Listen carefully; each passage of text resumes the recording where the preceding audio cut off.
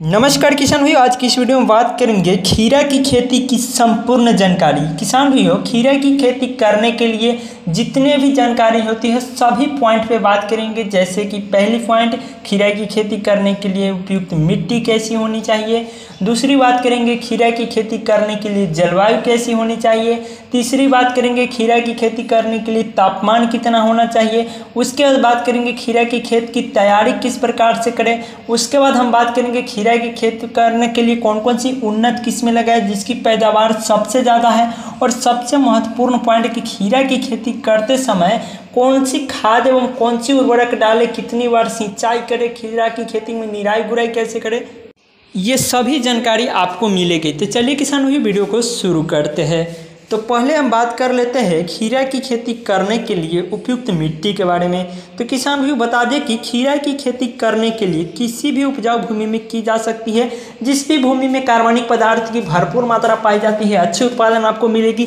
लेकिन फिर भी अगर बात करें कि सबसे जो अच्छा मिट्टी है, वो कौन सा है खीरे की खेती करने के लिए तो बलुई दोमट मिट्टी जो होती है ना किसान भाई ये खीरे की खेती के लिए काफ़ी उपयुक्त मिट्टी है, क्योंकि इस मिट्टी में जो है खीरा के विकास काफ़ी जल्द होती है, एवं खीरा की उत्पादन भी अन्य मिट्टी के मुकाबले थोड़ा ज़्यादा होती है। बात करें कि खीरा की खेती के लिए जलवायु कैसी होनी चाहिए? तो किसान भाई, जलवायु की बात करें तो खीरा की खेती आप किसी भी मौसम में कीजिए। बारिश का मौसम, गर्मी के मौसम और शरद के मौसम, इन सभी मौसम में की जाती है। लेकिन बात करें इसकी भूमि के लिए, जलवायु तो शीतोषण और समशीतोषण जलवायु खीरे की खेती के लिए उपयुक्त तो माना जाता है। जबकि अगर हम बात करें खीरे की खेती अगर कर रहे हैं तो खेत का पीएच मान कितना होना चाहिए? तो अगर आपकी भूमि का जो पीएच मान है छः से सात के बीच का है, वो काफ़ी अच्छी पीएच मान है तो आप खीरे की खेती आसानी से कर सकते हैं, किसी प्रकार की दिक्कत नहीं है। अगर बारिश के मौसम में खीरे की खेती कर रहे हैं आप तो ऐसी भूमि का चुनाव करें जिसमें पानी, जल भराव की समस्या बिल्कुल भी ना हो, किसान भाइयों।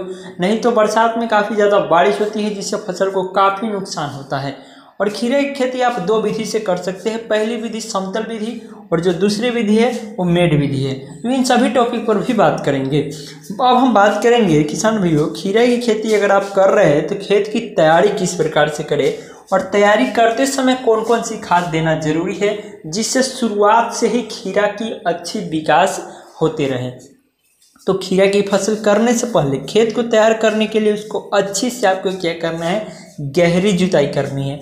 गहरी जुताई करते हैं तो जो भी फ़सल की पहले वाली फ़सल की जो अवशेष पदार्थ है, वह बिल्कुल नष्ट हो जाती है। उसके बाद बात करें में, इसमें खेत की जो मौजूद पुरानी फ़सल है वो अवशेष तो हो ही जाती है। उसके बाद आपको क्या करना है, जब आप खेत की तैयारी कर रहे हैं तो आपको सड़ी हुई गोबर की खाद, ये एक प्राकृतिक खाद होती है जिसे आपको देना खेतों में बहुत ज़रूरी होती है। तो आप सड़ी हुई गोबर की खाद खेतों में डाल दें, उसके बाद बात कर लेते हैं कुछ समय के लिए आपको खेतों को छोड़ देना है।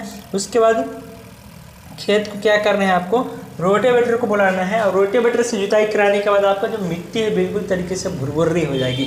भुरभुर्री हो जाएगी तो अगर बारिश नहीं हो रही है तो आपको क्या करना है? उसमें सिंचाई कर देनी है। सिंचाई करने के बाद अगर आप कुछ दिनों के बाद फिर से खेत की जुताई करते हैं तो मिट्टी जो है काफ़ी ज़्यादा भुरभुर्री हो जाती है।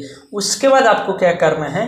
आपको बेड तैयार करना है। तो आपको स्क्रीन पे दिख रहा होगा किस तरीके से बेड तैयार किया जा रहा है। तो इस तरीके से आपको बेड को तैयार कर लेना है। जब आपका बेड तैयार हो जाए, उसके बाद आपको खीरा की जो बीज है, वो बेड के ऊपर लगाना है। बेड के ऊपर आप लगाते हैं तो जो भी बारिश में पानी होती है वर्षा का वो बेड के नीचे वाले हिस्सों में रह जाता है। इससे आपको खीरा की फ़सल को कोई भी प्रकार की नुकसान नहीं होता है। हम बात करेंगे खीरे की बीज की रोपाई का सही समय और तरीका। खीरे की फ़सल अलग अलग जलवायु के हिसाब से अलग अलग समय पर की जाती है। जैसे कि आप उत्तरी क्षेत्रों में रहते हैं भारत के तो आप इसकी जो बुआई है फरवरी से नवंबर तक कर सकते हैं। किसी प्रकार की दिक्कत नहीं है। अगर पर्वतीय क्षेत्र में है आप, अप्रैल से मई में कीजिए। और आप दक्षिण भारत के इलाके से हैं तो आपको नवंबर में करनी चाहिए। तो इस तरीके से खीरा की खेती की जाती है। अब हम आपसे मिलते हैं अगले वीडियो में सब तक के लिए भारत